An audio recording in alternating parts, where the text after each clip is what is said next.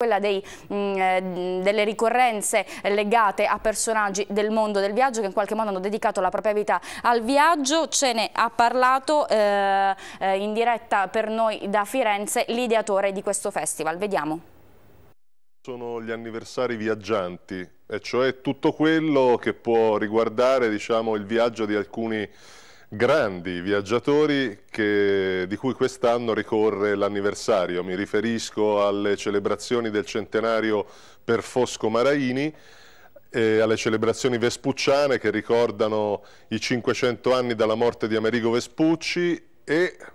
una cosa un po' singolare, il settantesimo compleanno di Jimi Hendrix, che eh, non è stato un grandissimo viaggiatore, nel senso che non si è mosso molto, però ha fatto viaggiare tantissime persone con la sua musica. Il Festival del Viaggio vuole quest'anno rendere un omaggio ai notturni fiorentini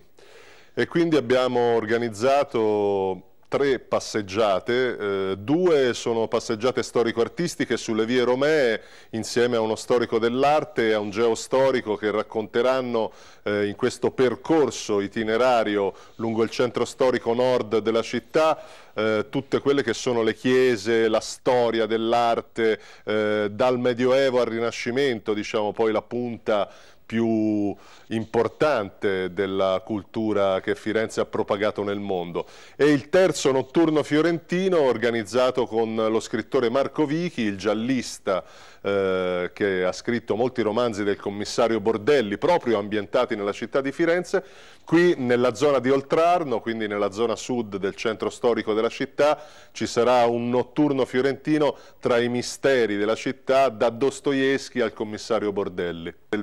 viaggio.it oppure sull'associazione che gestisce questo festival e che è la Società Italiana dei Viaggiatori, di cui fanno parte Franco Cardini, Filippo Daverio, Vinicio Capossela, e cioè www www.societadeiviaggiatori.org. Diciamo che il festival è iniziato in questi giorni, si conclude sabato 9 giugno, però poi ci sarà un appendice a Palermo dal 22 al 28.